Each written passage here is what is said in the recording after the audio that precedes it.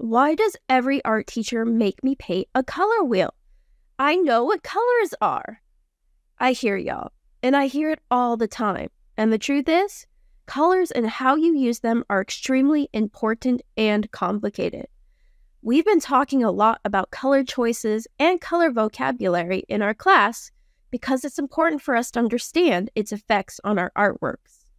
Basic color theory will be essential when I ask you to use color harmonies and color schemes in your future artworks as well. The way you use color combinations affects the mood in your artwork and could provoke different emotions depending on which culture you are in. It changes where the emphasis is in your artwork and oftentimes serves as a powerful symbol. In fact, many companies do extensive research on colors because they know it has an effect on their product. Think about McDonald's. What bright color do you instantly think of? Yes, yellow! Primary colors in art class and painting are different than those of physics and primary colors of light. When we talk about primary colors when painting, we are talking about the three colors used to mix and make all other colors. These are red, blue, and yellow. Mixing colors is not as easy as it looks. You should be having fun while experimenting, even if you don't get it right the first time. Secondary colors are those created by mixing two primary colors. These are green, purple, and orange. Tertiary colors, also known as intermediary colors, are those that are a mixture of a primary and secondary color. They're a little more complicated, but they're easy to identify.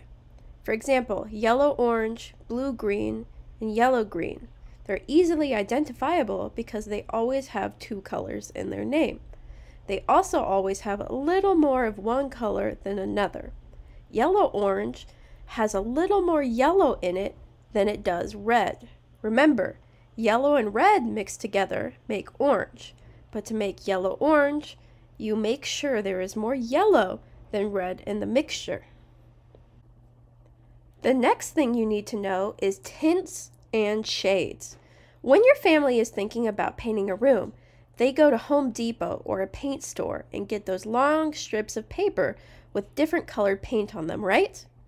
These are called paint chips or paint strips. These paint chips allow your family to see different shades and tints of a color to see which one looks best in the room. When I introduce the idea of tinting to students, they usually think about tinted car windows in darker colors, but in fact, tinting and painting is the exact opposite.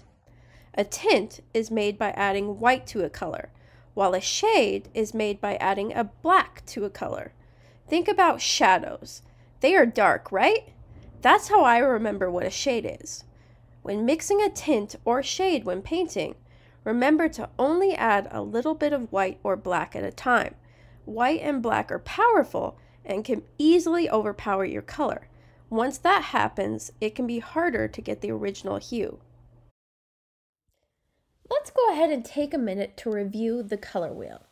Remember, we have primary colors, which are the three colors used to make all other colors. Remember, those are red, blue, and yellow, and they make a wonderful little triangle on the color wheel.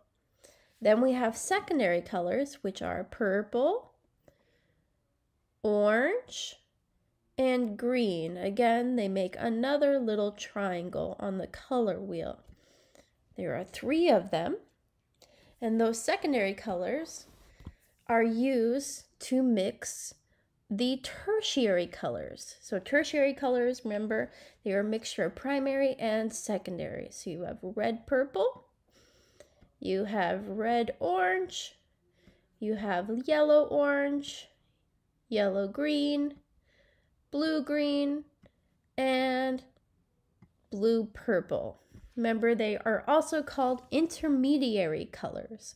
So sometimes you'll hear me refer to them as tertiary or intermediary colors, and there are six of these. Now let's go ahead and look at some examples. This one uses complementary colors. Complementary colors is a color scheme where colors on the opposite side of the color wheel are used to create pop. So in that artwork here, you will see red put next to green. When you put a color next to each other that is on the opposite side of the color wheel, it's called a complementary color. It makes them stand out. So you've got red, green, red and green, you've got purple and yellow, and you've got orange and blue. All of those colors, again, are on opposite sides of the color wheel. That is why it's so important for us to learn about colors and color theory because they play different roles in how we view an artwork.